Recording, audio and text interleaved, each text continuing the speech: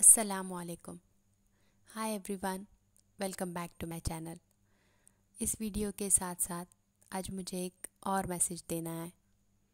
और वो ये कि अल्हम्दुलिल्लाह फाइनली फाइनली आज मेरा चैनल मोनेटाइज हो गया। थैंक यू वेरी मच आप सब लोगों के प्यार, दुआओं और सपोर्ट के लिए। बस इसी तरह साथ रहेंगे और खुशियाँ बांटेंगे।